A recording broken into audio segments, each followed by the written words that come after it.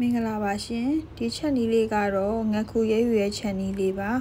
ပထမဦးဆုံးငက်ခုတွေကိုမကြီးတိမဲ့အနှစ်နဲ့အကြည်ရွှဲတွေပြောင်းအရင်ဆုံးတိုက်ပြီးတော့ငက်ခုတွေကိုပြောင်းအရင်ဆေးပါတယ်ဆေးပြီးတဲ့ငက်ခုတွေကိုတုံးသေးသေးလေးတွေတုံးပြီးတော့ပဟက်ရေရက်တွေကိုဖြတ်ပါတယ်ရှင်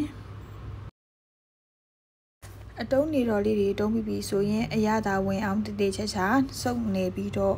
အရသာနေပါတယ်ပြီးတော့10မိနစ်15မိနစ်လောက်ခန့်အရသာလေးဝင်အောင်နှက်ထားပေးပါရှင်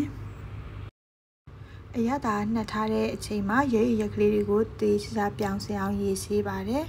မိမိတုံးဆောင်ခြင်းတဲ့အရွယ်စားလေးတွေကိုကြိုပြီးတော့လှီးဖြတ်ထားပါရှင်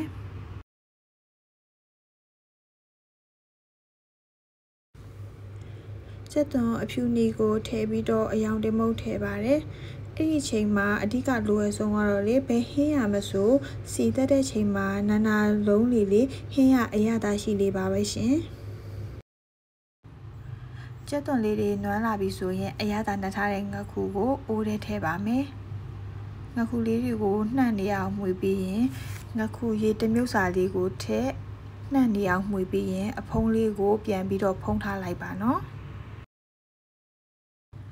ပစွန်အကွေး9နွေးဆိုတဲ့အတိုင်းအချိန်အများကြီးမလိုပါဘူးရှင်3မိနစ်သို့မဟုတ်5မိနစ်လောက်ခန့်ဖုံးထားတယ်ဆိုရင်ပဲလုံလောက်ပါပြီ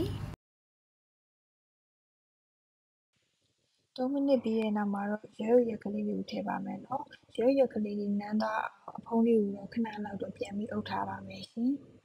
ရဲရက်ကလေးတွေနန်းသားပြီဆိုရင်တော့အစားကောင်းတဲ့ငခုရဲရဟင်းရလေးတစ်ခုကိုရရှိမှာပဲဖြစ်ပါတယ်ရှင်